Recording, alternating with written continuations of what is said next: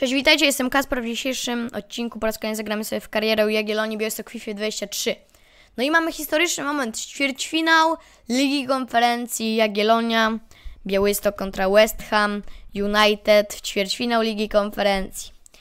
No jestem na pewno bardzo ciekawy, jak potoczy się to spotkanie. Zagramy sobie oczywiście dzisiaj cały ćwierćfinał Ligi Konferencji. Zapraszam do oglądania. No bez wątpienia jest to najtrudniejszy rywal, z jakim przyszło nam się zmierzyć w tym sezonie. West Ham przyjechał do Białego Stoku na mecz, na mecz z Jagiellonią Białystok. Stadion wypełniony aż po brzegi. To musi się udać, bo to jest ten dzień, to jest ta noc dla Jagiellonii Białystok. No, są naprawdę o o, o krok od, od naprawdę zrobienia czegoś nieprawdopodobnego. Dzisiaj są gospodarzami, więc, więc liczymy, że to oni, o, to oni zwyciężą w tym spotkaniu. Jagiellonia, Białystok, West Ham United. Zapraszam! No i zaczęli.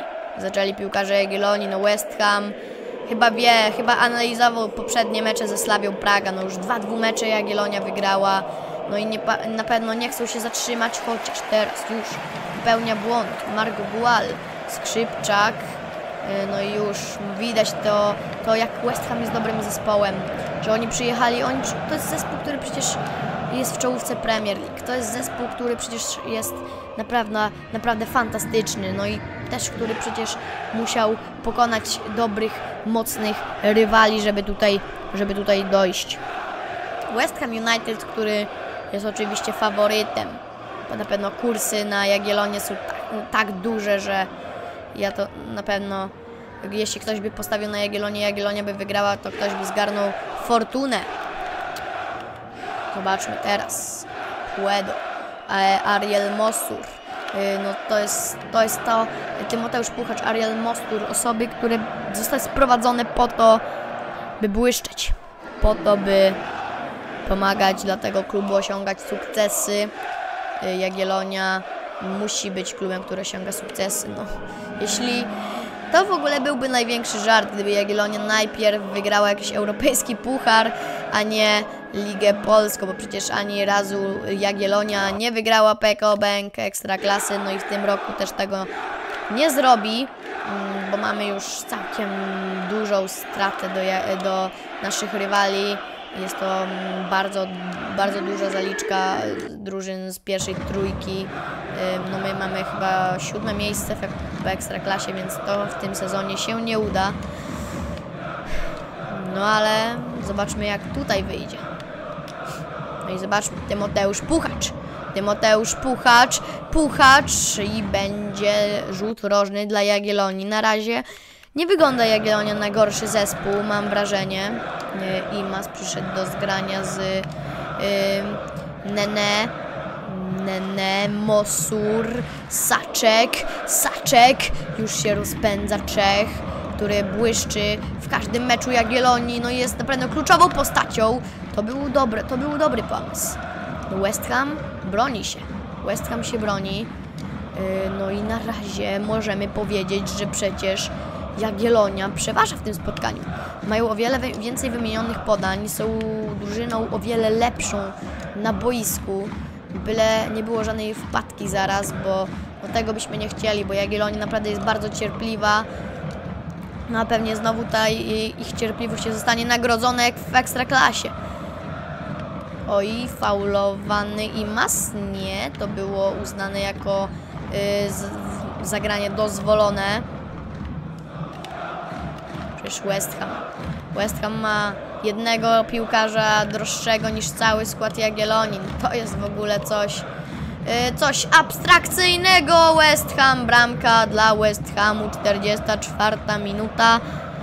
Dzieje się to, o czym mówiliśmy, no chwila nieuwagi Jagiellonii, tracą bramkę, Lazzini, no i widać jaką, jaką klasę ma po prostu y, West Ham United, mm, no jaką, jaką oni są, jakim oni są kapitalnym klubem.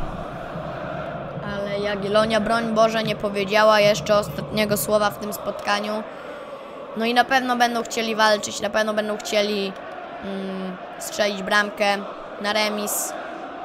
Żeby nie było aż w Anglii tak trudno, bo pamiętamy, West Ham jedni mają jednych z lepszych kibiców w ogóle. Yy, przecież tam jak przyjedzie Jagiellonia, to oni ogłuchną. No i teraz co tu zrobić? Brak pytań, brak słów. Lan Lanzini się po prostu zabawił, ale robić bez szans do bramka Stadiony Świata. Kibice Jagiellonii załamani. Zobaczmy jeszcze raz tą bramkę. Co za bramka. Nieprawdopodobne.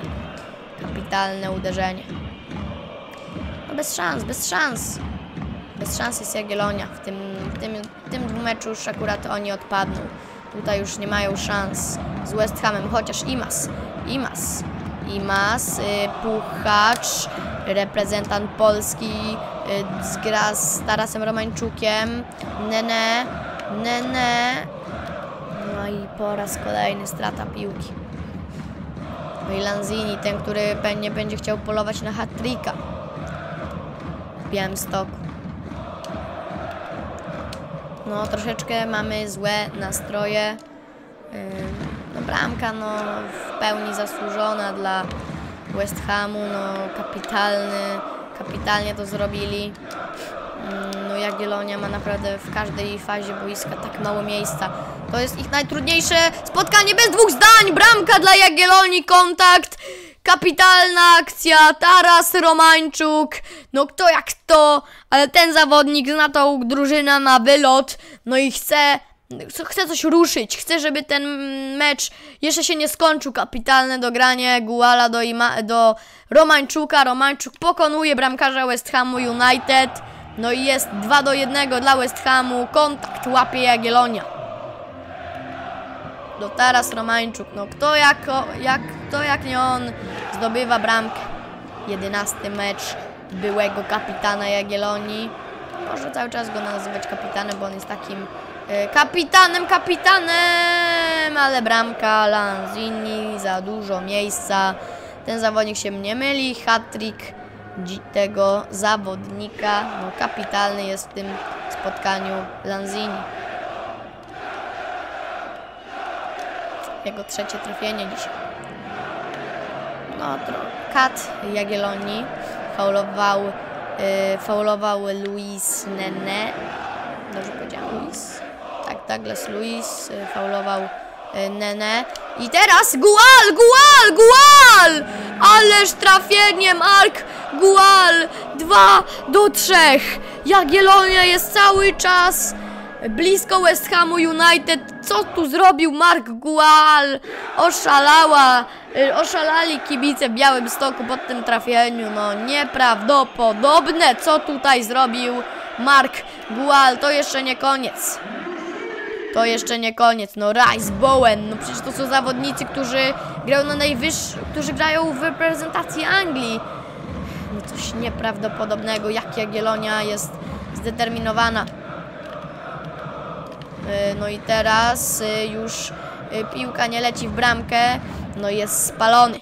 7 minut Jagiellonia ma na trafienie. No napędzeni na pewno są tą, tą akcją bramkową Marka Guala, która była zresztą przecież kapitalna. I Mark Gual. Gual zaciął do środka. Gual, Gual, Gual. Świetnie do Puchacza. Puchacz, Puchacz. Puchacz jeszcze jest tam, Puchacz, Imas, bramka! 3 do 3, Hechus, Imas, ależ oni to zrobili, Imas, jaki spokój tego zawodnika, 3 do 3, West Ham na kolanach, West Ham dowiedział się co to jest polska siła, zobaczmy jeszcze raz, Puchacz, Imas, kapitalne, perfekcyjne uderzenie Imaza no, no nieprawdopodobnego. Jest remis przy Słonecznej, jest remis. Mogą, mogą teraz naprawdę wiwatować piłkarze Jagiellonii. Bez faulu, bez faulu. Może jeszcze jakaś akcja. Nie, koniec. 3 do 3. 3, 3 do 3. Sukces absolutny w Białym Stoku. No i Lanzini odbiera, zabiera piłkę od sędziego, ale on, on na pewno jest tutaj zły, że, że ten, te jego trzy bramki nie dały zwycięstwa. Oczywiście Raków jest kapitalnym zespołem, ale musimy za, za, zagrać z nimi najlepsze akcje, no bo muszę znaleźć czas na drugi mecz z West Hamem. Ok, w takim razie Jagiellonia, Raków Częstochowa. No i mamy rzut wolny, abyśmy wykombinowali z tego bramkę. Gramy Matysik, Matysik, Saczek, yy, przykry, ale piłka zgubiona przez nas. 11 minuta, Lederman, rzut rożny dla Jagiellonii, yy, dla, przepraszam, Rakowa Częstochowa. Oczywiście Lederman wrzuca, Lederman, Matysik i świetna interwencja Alomerowicza. Dopiero 85 minuta? Jeden do jednego? Co się stało z tymi akcjami? One chyba się zepsuły znowu. Dajcie mi przyprowadzić kontrę. No i znowu 87 minuta, Raków rzut wolny. Co tu się dzieje? Co tu się dzieje? Halo? Czemu Raków minuta za minutą ma akcję? Świetnie Zlatan Lamrowicz i kolejny rzut wolny dla Rakowa. Tym razem prawie, prawie tak samo, mm, z taką samą częstotliwością. Oj, dobrze, że przestrzelił. O, i my mamy akcję. 90 minuta.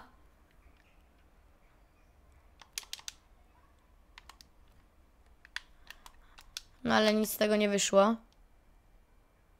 I kolejna akcja nasza. Coś się tutaj zepsuło, ale o, tak, może się psuć w sumie. Y, I mas. Ale przerwane to. Może jeszcze dostaniemy jakąś akcję? Dostaliśmy. Normalnie sekundy tutaj lecą tak, tak, tak wolno, że możemy cały czas akcję sobie robić. No, ja nie narzekam. Iwi, Lopez, niecelnie i będziemy mieli jeszcze jakąś akcję? Nie, nie będziemy mieli. Ten mecz zakończył się remisem, o tak właśnie. 3 do 3 w dwumeczu. Jagiellonia pojechała na wyjazd do West Hamu United, do Londynu. Na Lond w Londynie są piłkarze Jagiellonii. No chyba nikt nigdy z nich nie pomyślał, że będzie grał na jakimś stadionie w Londynie no kapitalny skład West Ham United, no faworyci są tylko jedni, ale Jagiellonia pokazała, że umie zaskoczyć te drużyny. Gramy. West Ham, piękny stadion w Londynie, ale jeszcze piękniejsza musi być gra Jagiellonii Białystok dzisiaj. Jagiellonia, West Ham, ćwierćfinał Ligi Konferencji, drugie spotkanie, no tak naprawdę od początku gramy, bo jest 3 do 3, czyli tak jakby było 0 do 0, bo te bramki i tak nic nie dają. No i nie ma w tym meczu y, Lanziniego z tego co widziałem na boisku. Kata w poprzednim meczu, jest za to Paketa w końcu, którego w poprzednim meczu właśnie zabrakło. Saczek, no bardzo odważny, bardzo odważnie trzeba grać z West Hamem. No i tutaj był faul, panie sędzio, trzeba wrócić do tej sytuacji. No i już widać, że sędzia angielski i będzie zwracał na takie drobne faule okaz yy, wszędzie przymrużał, będzie mrużył oko na takie drobne faule i teraz kapitalnie to nie, to nie to, to nie to jeszcze raz musi Jagiellonie skonstruować jakąś sytuację. Y, Declan Rice Declan Rice yy, i ma w uwadze. Co on w TFUE-nie, że jest w uwadze? Dobra, yy, Przykryl, Gual, Gual, poczekał na piłkę, Nene, Nene, Nene, dobre to było. Gual, druga strona, Tomas Przykryl, Tomas Przykryl, Tomas Przykryl, Tomas... Mm, poza boiskiem. Dobra, ogromny, ogromny stadion, no Jagiellonia na pewno też zapamięta ten mecz na długo. No, to w ogóle, że polecieli kibice z Białego Stoku do Londynu, by kibicować swojej ukochanej drużynie przez 90 minut albo i więcej, gdyby pojawiła się w tym meczu dogrywka. No i mas. Imas, y, dużo miejsca ma Jagiellonia. No nie potrafi nawet najlepszy taki zespół z Anglii zapobiec. Jagiellonii, Białystok, przykryl. Areola nie popełnia błędów jak jeden z y, czeskich y, bramkarzy. Możecie ten błąd zobaczyć w poprzednim odcinku, gdzie graliśmy ze Slawią Praga. Y, tak, ze Slawią, bo ze Spartu graliśmy jeszcze w innym odcinku. Niestety bramka Paketa zdobywa bramkę, no ale przed tym się nie dało uchronić. To była kapitalnie przeprowadzona kontra West Hamu. Lukas Paketa wpisuje się na listę strzelców, 32 minuta. No Jagiellonia dominuje, no po raz kolejny to jest kontra West Hamu. Imas, Imas, Imas, Imas, Imas, Imas. Areola broni świetnie, kapitalnie i no po prostu wzorowo broni. No i Nene ma do rozegrania Imaza. Nene. Yy, zszedł mu Ariel Mosur, Ariel Mosur, Miłosz Matysik, Ariel Mosur, yy, i Imas, Imas, Imas, kapitalnie, jest tam Michał Saczek, Michał Saczek, gol, gol, gol, jeden do jednego, Michał Saczek pokonał Areole, no i mamy po raz kolejny remis w tym dwumeczu, remis w Londynie, Michał Saczek, ależ musi być to teraz dla niego moment. Kapitalnie. I jeszcze raz kapitalnie. Zobaczmy tą akcję. Zszedł, uderzył bez wahania. Yy, Saczek po rękawicy Arreoli. Ale jest bramka dla Jagiellonii. To najważniejsze. 90, 40 minuta.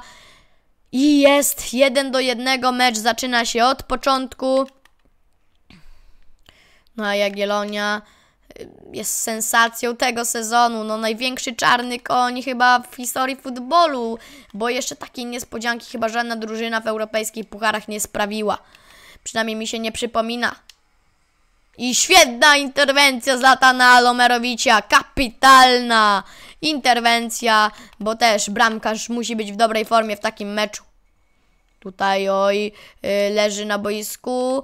y, leży na boisku Mark Gual, ale to i tak nic z tego nie wynikło. Łapie piłkę po, strzale Kurta Zumy, ale Omerowicz. No i koniec pierwszej połowy. Załamani gracze West Hamu nie wierzą, jak y, cały czas Jagiellonia opiera się dla młotów. Druga część spotkania, no i oby była to najlepsza druga połowa dla Jagiellonii, jaka mogłaby być. Byle strzelili piersi bramkę, żeby nie musieli po raz kolejny gonić wyniku. Bo oni strzelali, strzelili cztery bramki w tym dwumeczu, ale ani razu się nie wyprowadzili na prowadzenie.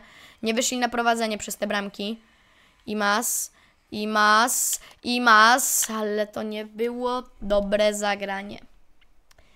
No mam wrażenie, że teraz Saczek, zarówno jak i Przykry mogą liczyć na powołanie do reprezentacji Czech. Yy, No to jest wręcz obowiązek. Jezu, ależ tutaj było niebezpiecznie. To jest wręcz obowiązek trenera czeskiego, by sprowadzić tych dwóch zawodników na zgrupowanie. Nawet, nawet na zgrupowanie, no bo to, jaką oni wykonują robotę w Jagiellonii, no a naprawdę grają na najwyższym poziomie i to widać mm, między innymi w takich meczach. Mark Gual. Mark Gual, Mark Gual, Mark Gual, ależ broni Areola. Ale po raz kolejny świetna akcja. Guala, no Mark Gual zdenerwowany, zresztą Mark, Marek Papszun zdenerwowany jest oczywiście na, na Areole, na to, że on broni, a nie na Marka Guala, który broni, kapita, e, który, który kreuje kapitalnie akcję w tym spotkaniu. Po raz kolejny na krótko z rzutów rożnych, no nie marnują tych stałych fragmentów. Michał Saczek! Michał Saczek broni Areola! Kapitalna interwencja, Michał Saczek, kapitalna decyzja, no y, powinni być na pewno sprowadzeni do reprezentacji Czech, jak już mówiłem, ci piłkarze. Y, Nene zaplątał się troszeczkę, Michał Saczek, ale nie doszła ta piłka do nikogo z Jagiellonii, Romańczuk pracuje, wykonują ogromną pracę piłkarze Jagiellonii. Matysik. No i oby ta drużyna się nie rozsypała, oby oni wszyscy nie poszli w swoje strony, oby ta Jagiellonia były taką, taką rozpoznawalną polską drużyną, którą każdy, y, którą każdy w Europie będzie mógł wymienić chociaż jednego zawodnika z Jagiellonii, Kapitalna interwencja Skrzypczaka. No gdyby nie ta interwencja, pewnie straciłaby bramkę. Pewnie Jagiellonia straciłaby bramkę. No i teraz Michał Saczek. Y, Bardzo przewidywalne był, było to, że zagra do swojego rodaka, ale West Ham się nie połapał jakimś cudem, no bo po prostu chciał pozwolić na to podanie. No i Romańczuk. Romańczuk. No niedokładnie, ale Michał Saczek zbiera tę piłkę. Jest taki Mengolo Kante troszeczkę w tym meczu.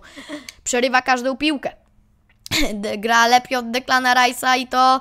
I to na pewno mogę dla Państwa zadeklarować, że Michał Saczek jest w tym meczu lepszy niż Declan Rice. Jak to brzmi?